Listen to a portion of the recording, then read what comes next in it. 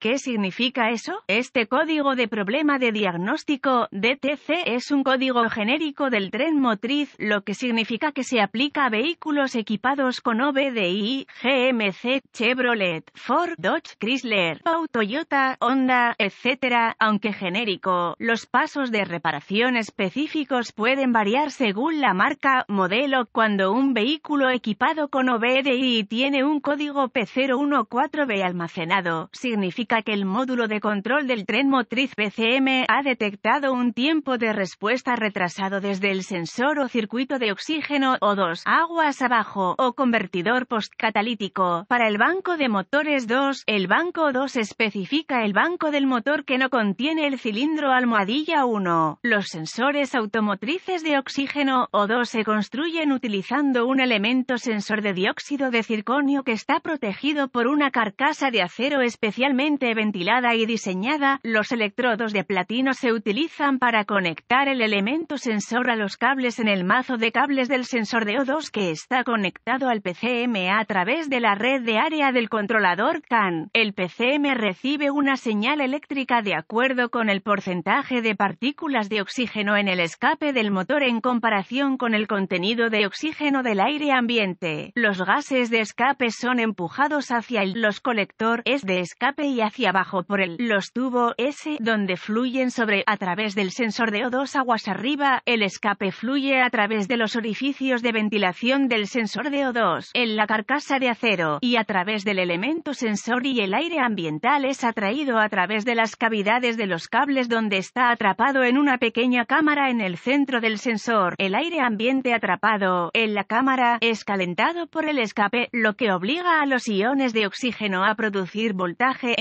energía, las desviaciones entre la concentración de moléculas de oxígeno en el aire ambiente atraída hacia la cavidad central del sensor de O2 y la concentración de iones de oxígeno en los gases de escape gastados hacen que los iones de oxígeno calentados dentro del sensor de O2 salten entre las capas de platino muy rápidamente y repetitivamente. Las fluctuaciones en el voltaje ocurren cuando los iones de oxígeno que corren saltan entre las capas de los electrodos de platino. PCM identifica estas variaciones en el voltaje como cambios en la concentración de oxígeno de escape que indican que el motor está funcionando pobre, muy poco combustible, o rico, demasiado combustible. Cuando hay más oxígeno en el escape condición pobre, la señal de voltaje del sensor de O2 es baja y más alta cuando hay menos oxígeno en el escape condición rica. El PCM utiliza estos datos principalmente para calcular el suministro de combustible y la estrategia de sincronización del encendido, pero también para controlar la eficiencia del convertidor catalítico. Si el sensor de O2 en cuestión no realiza un ciclo tan rápido y o regularmente como se esperaba, durante un periodo de tiempo establecido y bajo ciertas circunstancias predeterminadas, se almacenará un código P014B y se podrá encender una lámpara indicadora de mal funcionamiento. Otros códigos de problemas de respuesta retardada del sensor de oxígeno incluyen P013E respuesta retardada del sensor de O2 rico en inclinación, Banco 1 sensor 2, P013F respuesta retardada del sensor de O2 inclinarse a rico, Banco 1 sensor 2, P014A respuesta retardada del sensor de O2 rico en inclinación, Banco 2 sensor 2, P015A respuesta retardada del sensor de O2 rico en inclinación, Banco 1 sensor 1, P015B respuesta retardada del sensor de O2 inclinarse a rico, Banco 1 sensor 1, P015C respuesta retardada del sensor de O2 rico en inclinación, Banco 2 sensor 1, P015D respuesta retardada del sensor de O2 inclinarse a rico, sensor 2 del banco DO es código de gravedad y síntomas, dado que un código P014B significa que un sensor de O2 ha permanecido lento o no responde durante un periodo prolongado de tiempo, debe clasificarse como severo. Los síntomas de este código pueden incluir bajo consumo de combustible, una falta general de rendimiento del motor. Otros códigos de diagnóstico de problemas relacionados también se pueden almacenar, mantenimiento del motor pronto, iluminación de la lámpara, causas. Las posibles causas de este código son en sensor, es de O2 defectuoso, cables o conectores quemados, rotos o desconectados, convertidor catalítico catalítico defectuoso, fugas de escape del motor, procedimientos de diagnóstico y reparación. Algunas de las herramientas principales que necesitaría para diagnosticar un código P014B son un escáner de diagnóstico, un voltímetro, omímetro digital, DVOM y una fuente confiable de información del vehículo, All Data de Y.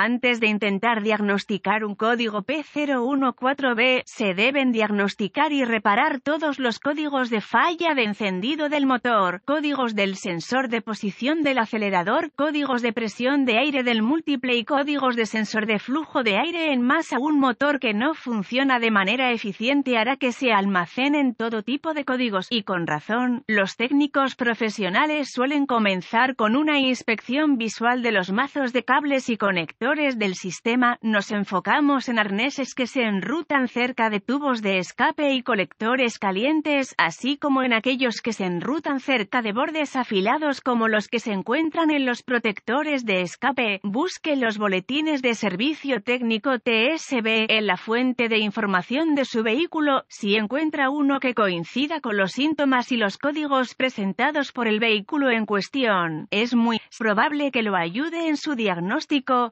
Listados de TSB se compilan a partir de miles de reparaciones exitosas. A continuación, me gusta conectar el escáner al puerto de diagnóstico del vehículo y recuperar todos los códigos de falla almacenados y los datos del cuadro congelado. Esta información puede ser útil si el P014B demuestra ser intermitente, así que anótelo para más adelante. Ahora, borre los códigos y vea si el P014B se reinicia, si se restablece el código arranque el motor, permita que alcance la temperatura de funcionamiento normal y luego déjelo al ralentí, con la transmisión en punto muerto o estacionado, use el flujo de datos del escáner para observar los datos de entrada del sensor de O2, limite la visualización del flujo de datos para incluir solo los datos pertinentes y verá una respuesta de datos más rápida y precisa. Si el motor funciona de manera eficiente, los datos del sensor de O2 aguas arriba deben fluctuar regularmente entre 1 milivoltio, 100 voltios y 9 milivoltios, 900 OLTs. Si las fluctuaciones de voltaje son más lentas de lo esperado, se almacenará un P014B. Puede conectar los cables de prueba de VOM a la tierra del sensor y los cables de señal para monitorear los datos en vivo del sensor de O2. También puede usarlo para verificar la resistencia del sensor de O2 en cuestión, así como las señales de voltaje y tierra para evitar daños en el módulo de control, desconecte los controladores relacionados antes de probar la resistencia del circuito del sistema con el DVOM. Notas de diagnóstico adicionales una vez que el PCM ha ingresado a la operación de bucle cerrado. Los sensores de O2 aguas abajo no deben ciclar tan regularmente como los sensores aguas arriba. Los convertidores catalíticos de bajo grado de reemplazo o remanufacturados son susceptibles a fallas repetidas y deben evitarse.